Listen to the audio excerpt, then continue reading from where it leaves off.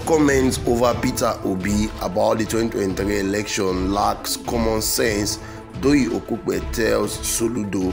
Hey guys, this is still DJMTV Daily News Updates. The Director General of the Peter Obi Presidential Campaign Council, Dr. Doyin Okupe, has reacted to the comments made by Charles Sukuma Soludo, the governor of Anambra State, on the chances of Peter Obi's success in the election has nothing to do with common sense. Recall that DJMTV has earlier reported that Charles Soludo, in an article he titled History Beckon and I Will Not Be Silent Part 1 said Peter Obi, the presidential candidate of the Labour Party, cannot win the 2023 general election. And Soludo's comments on the chances of Obi in the 2023 election have drawn reaction on and off social media. But reacting to Soludo's comment, Doyin Okupe, the DG of Peter Obi Presidential Campaign Council, said the former governor of the Central Bank of Nigeria, CBN, spoke from a position of political delusion. Ordinarily, I won't join issue with Soludo, but so that people will not get disinformed by this very unsound judgment of the political status of Labour Party in the Nigerian contest, that is the only reason why I will say one or two words, he said. Soludo must be living in another planet for him to have said so. I don't know what is blinding him for him to say that there are only two people in this race, APC and PDP. Even a blind person and a young child of 9 years old knows that this is absolute fallacy. I am overwhelmed with joy that he considered that Peter Obi will win Anambra State. That is good news. Where he messed it up completely was when he said that Peter Obi will not get 25% in maybe four states or the federation.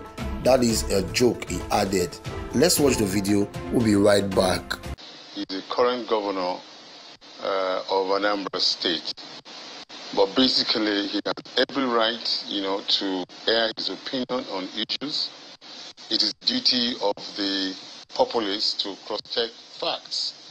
I'm, I'm glad that um, he says uh, the investments are nothing to write home about. Uh, in other areas, we will not be talking about a governor uh, trying to invest funds to, you know, for future uh, governors that will come so that the state can prosper. Here we're talking about investment. He says the investment uh, today do, you know, doesn't mean anything. Very good.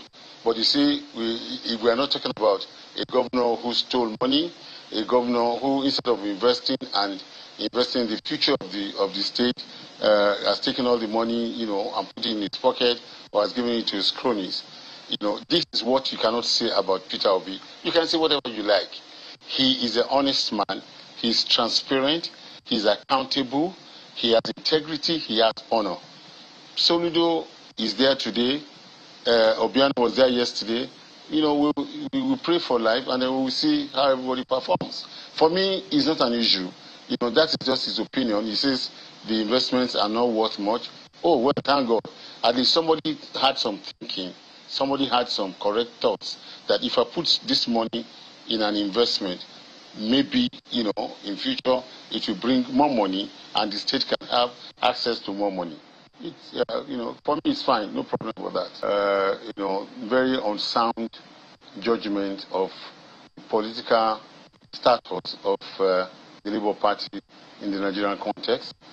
That is the only reason why I will, with a lot of restraint, you know, say one or two words. He he must be living in another planet. I mean, if he's if he's so, I don't know what is blinding him for him to say that there are only two people in this in this parliament, and uh, it's only APC and PDP. Even a blind person, even a young child of nine years old, know that this is absolute fallacy. Uh, he, you know, Professor Soludo must be indulging himself in some uh, self-deluding uh, or self-political delusions.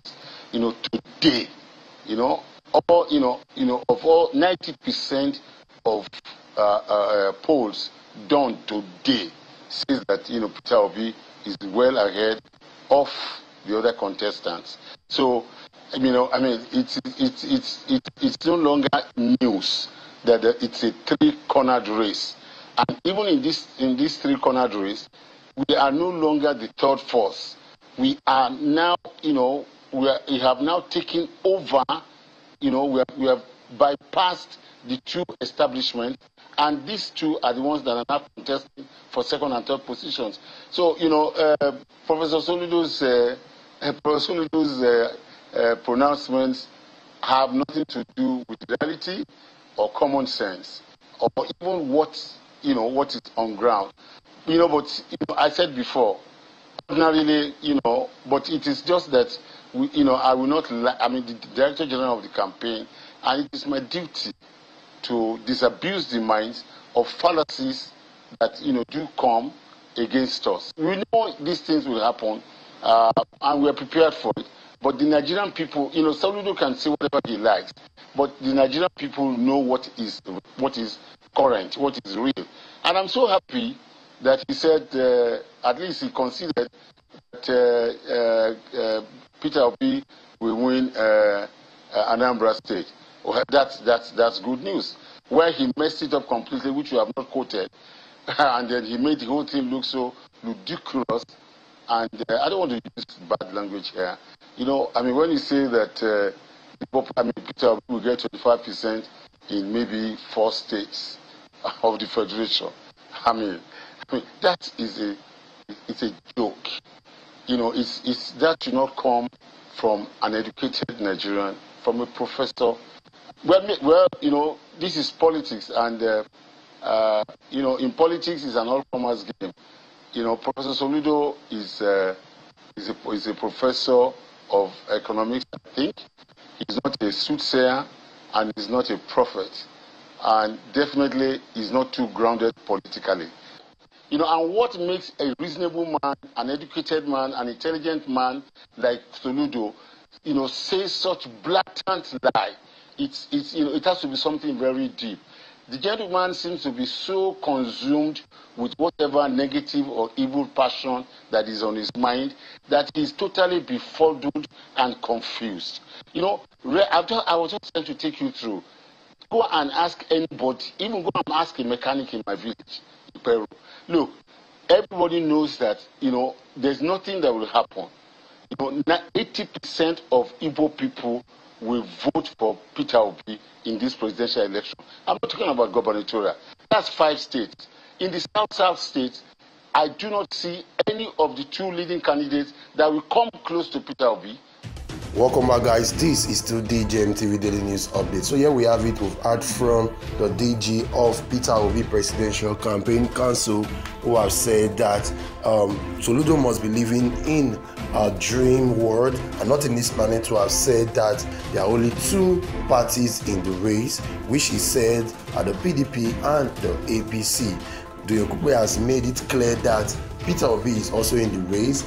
Doyin has also said that uh, Soludo acknowledged the fact that um, Anambra is for Peter Obi and Peter Obi will win Anambra massively and also he does not expect a professor to speak in a manner that Soludo did. So guys, what are your thoughts and comment?